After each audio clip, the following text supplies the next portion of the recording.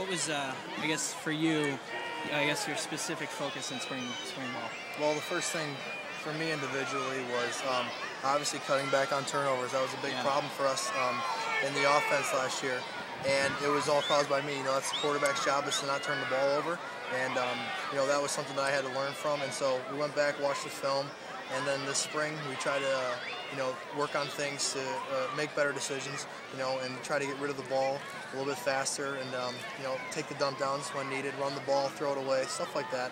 Um, a lot of it is just you know concentration errors, and so um, you know we work that individually, and then we try to put that into our you know our, our team plan, and we really emphasize that a lot when we were working as a team and as a unit, as an offense. That if we can take care of the ball and just keep moving the ball, you know sometimes it's okay to punt and let the defense you know take care of things. That's just that's part of football. So um, you know getting that mentality, but understand that we got to go make plays at the same time.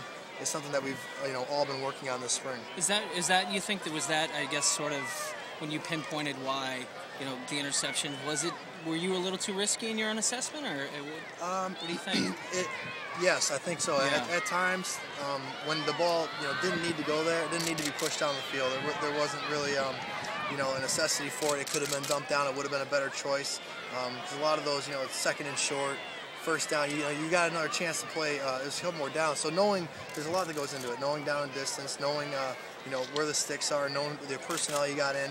And so it was a kind of, um, you know, figuring all that out and seeing that there is, you know, other uh, availability. You don't got to go for the, the home run every single time. Yeah. And then there's just other things. You know, there's, um, you know, if you make, you know, there's bad reads. Or, you know, you throw, just throw simply throw a bad pass. So those are things that are uh, more mechanical, and then you can get, you know, figure that out with watching film and then doing the, you know, the physical work, the extra, you know, dropbacks and throws.